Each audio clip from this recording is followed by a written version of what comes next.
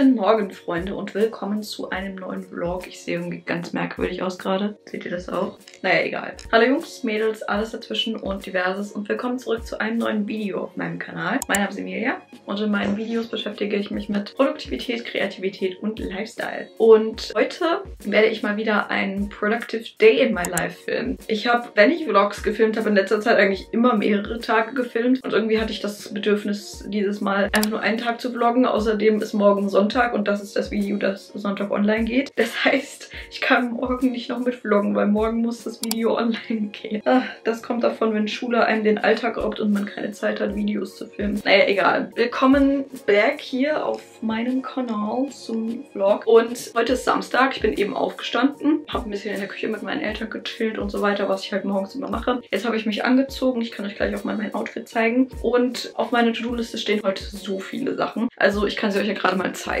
Der Schreibtisch ist auch der letzte Mess, aber naja, okay. Das ist meine To-Do-Liste für heute. Ich hatte in Deutsch und Ethik diese Woche jeweils ähm, zwei Freistunden und habe die Aufgaben für diese Freistunden noch nicht gemacht. Ich meine, es waren letztendlich Aufgaben, die ich hätte überall machen können, deswegen mache ich sie jetzt einfach hier. Ich brauche sie aber für Montag, also muss ich die heute oder spätestens morgen erledigt haben. Dann habe ich um 10 Uhr Orchester. Das ist länger.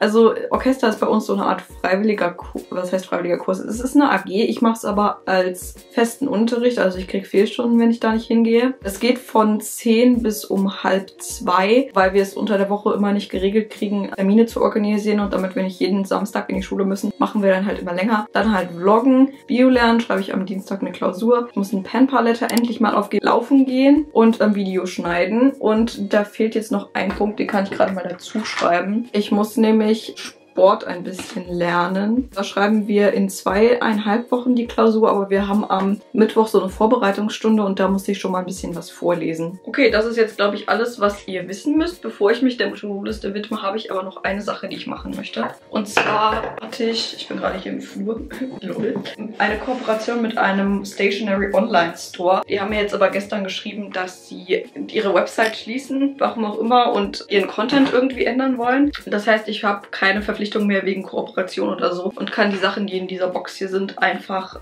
nur irgendwie in meinen Schreibtisch einräumen und mich daran erfreuen. Ich muss auch generell meinen Schreibtisch mal ein bisschen aufräumen. Er sah definitiv schon schlimmer aus, aber es ist halt nicht so ein richtiger Vibe, um daran gleich produktiv arbeiten zu können. Oh, ich habe übrigens noch gar kein Time-Update gegeben. Ist 9 Uhr und wir müssen hier wahrscheinlich schon ungefähr eine halbe Stunde los. Das heißt, wenn ich noch irgendwas machen will, bevor das Orchester anfängt, sollte ich mich wahrscheinlich ein wenig beeilen.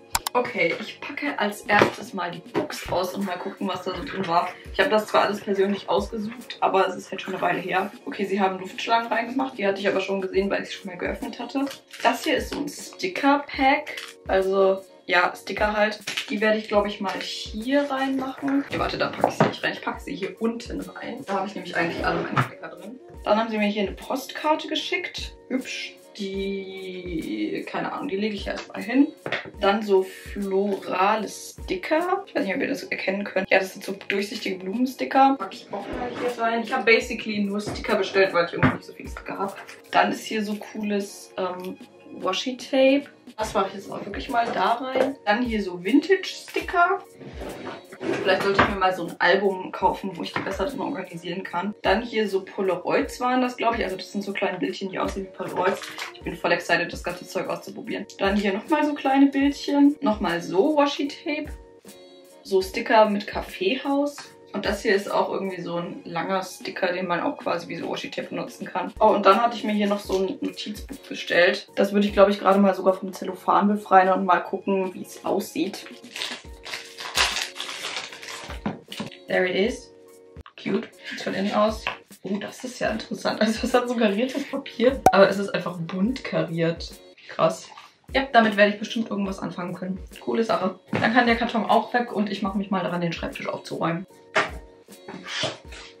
I know it's crowded here Moving through space and time Girl, it's been my darkest year And God answers to questions I'm inching towards ledges Cause diamonds, they shimmer, you love it Okay, es ist Zeit, mit Aufgaben anzufangen. Ich weiß gar nicht so hundertprozentig, was ich in Ethik eigentlich machen muss. Also werde ich erstmal bei iSurf reingehen und mir die Aufgaben runterladen. Beziehungsweise ich glaube, es ist besser, wenn ich das an meinem iPad mache. damit ich die Sachen dann auch gleich in GoodNotes drin habe. Ich habe, by the way, eine neue iPad-Hülle. Auf Instagram habe ich sie schon gezeigt, kurz, aber auf YouTube noch nicht. Also, that's her.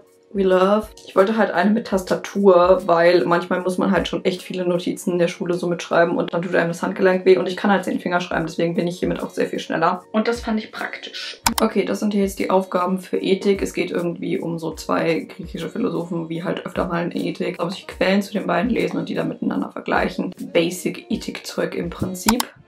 I'm chaining my bank account back in someday that you never above it.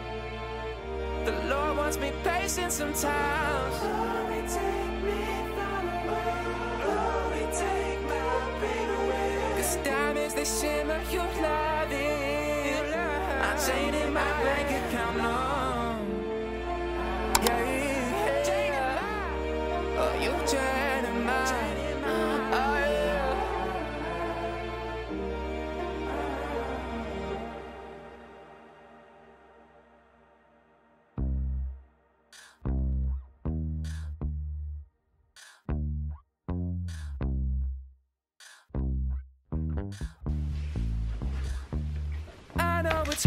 crowded here, moving through space and time.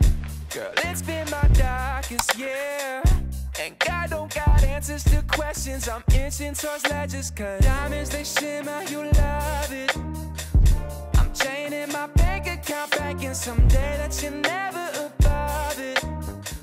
The Lord wants me patient sometimes.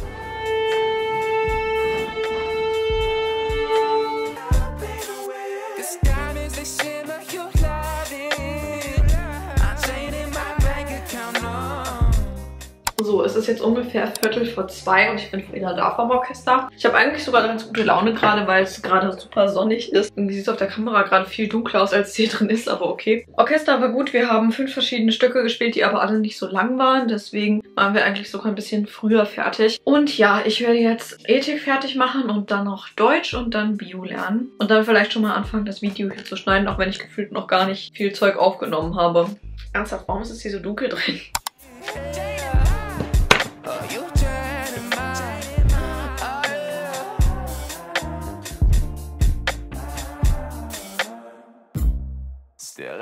I speak with my eyes.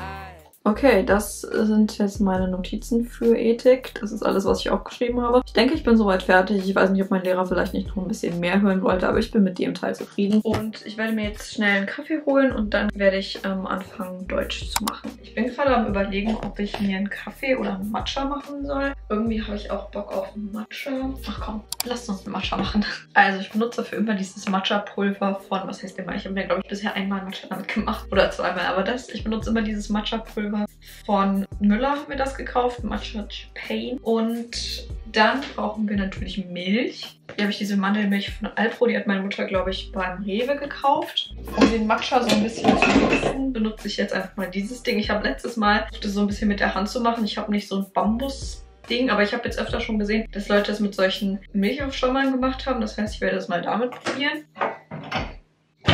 Ich werde mal die Ostseetasse dafür benutzen. Und dann muss ich natürlich Wasser kochen.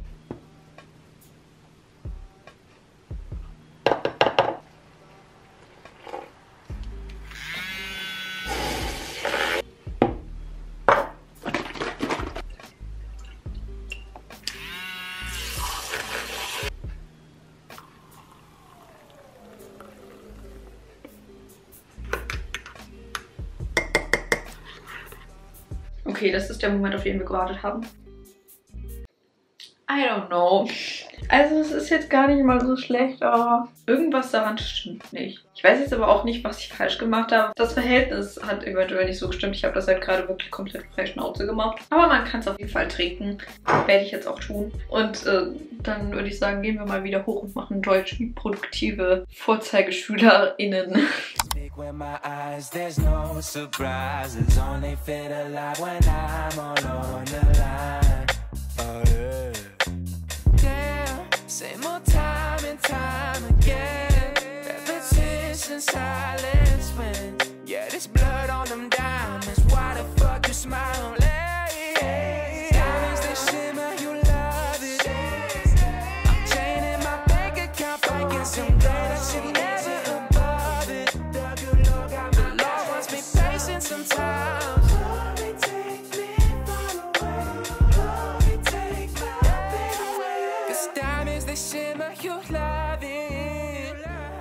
Okay, das ist jetzt Deutsch. Ich habe halt einfach drei Aufgaben gemacht. Es ging um so einen Text, also eigentlich war es eine Kurzgeschichte so aus den 60ern, wo so eine Frau um die 20, würde ich sagen, in der Stadt gearbeitet hat und dadurch war ihr Lifestyle halt sehr anders als der Lifestyle von ihren Eltern. Und in den Aufgaben ging es im Prinzip darum, das so ein bisschen miteinander zu vergleichen. Und ich habe auch noch das, was ich für Ethik gemacht habe, abgegeben, weil das sollten wir abgeben weil das ist eine lange Geschichte, aber ich hatte dieses Jahr fast noch keine Ethikstunden. Ich glaube, ich hatte dreimal Ethik dieses Jahr und ansonsten ist es immer ausgefallen, weil es irgendwie als Probleme gab mit Lehrern. Deswegen wollte er das haben, um es in die mündliche Note einzuarbeiten. Ich hatte jetzt halt nicht so viel geschrieben, deswegen hoffe ich, ich kriege darauf keine schlechte mündliche Note. Das wäre jetzt nicht so nice. Aber im Deutsch muss ich nicht abgeben, weil das werden nämlich an vergleichen wir dann einfach in der nächsten Deutschstunde. Als nächstes werde ich jetzt wahrscheinlich Bio lernen müssen. Ich hätte eigentlich, glaube ich, schon vor drei Tagen oder so mit Bio anfangen sollen, weil ich schreibe die Arbeit jetzt halt schon am Dienstag und es ist so verdammt viel auswendig zu lernen. Aber ich konnte halt die ganze Zeit kein Bio lernen, weil ich als die ganze Zeit Mathe gelernt habe oder generell Schule hatte. Und meine Mathe-Note wird, glaube ich, trotzdem nicht so gut. Also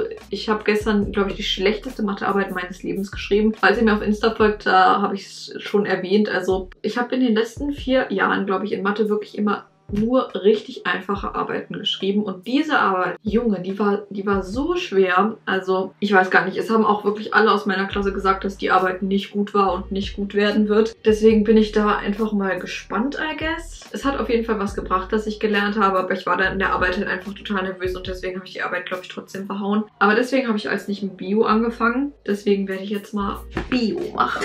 Damit ihr vielleicht mal versteht, was ich meine, wenn ich sage, es ist viel. Also ich muss diese Tabelle hier komplett auswendig können. Wirklich alles, was hier drin steht. Dann muss ich diese beiden ähm, Schaubilder hier beschriften können. Das kann ich im Prinzip eigentlich auch schon ganz gut. Und dann muss ich diese Tabelle hier noch auswendig können. Und das, was da steht. Und ich hatte mir noch einen Lernzettel geschrieben, den ich auch auswendig lernen muss. Aber bloß keine Panik.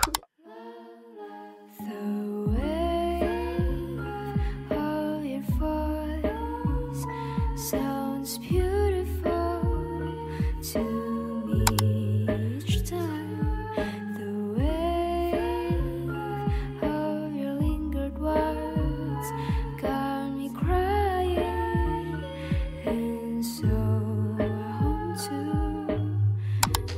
So, ich habe das Gefühl, ihr seht mich in dem Video heute einfach nur lernen, aber that's just my life right now. Egal. Ich habe jetzt die Tabelle mehr oder weniger abgeschrieben. Also ich habe versucht, alles möglichst auswendig zu machen, aber ich habe es halt nicht komplett hinbekommen. Und ich muss noch mehr Bio lernen, weil wie gesagt, diese super lange Tabelle ist, ist halt nur ein kleiner Teil der Arbeit. Besonders die Sachen, die hier am Ende stehen, muss ich echt nochmal durchgehen. Aber egal. Jedenfalls werde ich jetzt mal kurz einen Study Break machen. Es ist echt schönes Wetter draußen. Ich würde voll gerne mal spazieren gehen. Meine Mutter ist gerade drüben bei meinen Großeltern, weil meine Tante und deren Familie ist zu Besuch. Ich kann ja mal fragen, ob sie vielleicht noch spazieren gehen wollen oder ob sie gerade spazieren sind und ob sie mich eventuell abholen können. Wenn nicht, äh, kein Plan, gehe ich vielleicht einfach mal kurz raus in die frische Luft und mache dann in meinem Zimmer ein Workout. Versuche ich einfach mal meine Mutter zu erreichen, I guess.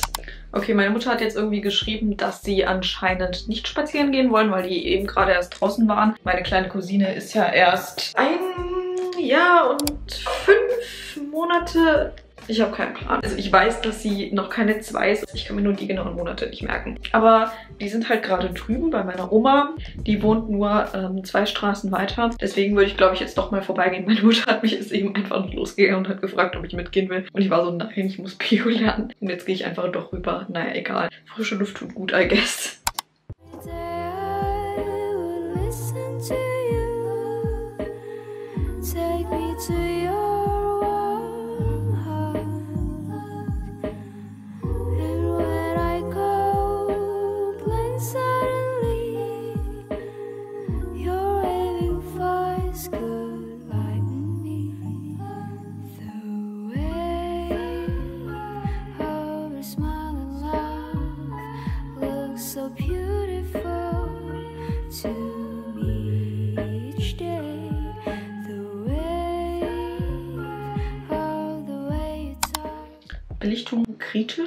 Aber egal. Naja, Wir sind jedenfalls fertig, damit das Holz zu stapeln. Also ich weiß gar nicht, ob meine Eltern es komplett fertig gemacht haben. Ich bin früher reingegangen als sie und habe die letzte halbe Stunde jetzt einfach YouTube geguckt. Und jetzt werden wir Abendessen, aber ich möchte das Video hier jetzt beenden. Vielen Dank, dass ihr euch den Vlog ein bisschen angeschaut habt. Ich hoffe, er hat euch gefallen, konnte euch inspirieren. Das übliche bla bla bla. Vergesst nicht zu liken, zu abonnieren und die Glocke zu aktivieren. Ich habe euch alle lieb und wir sehen uns in meinem nächsten Video. Ciao!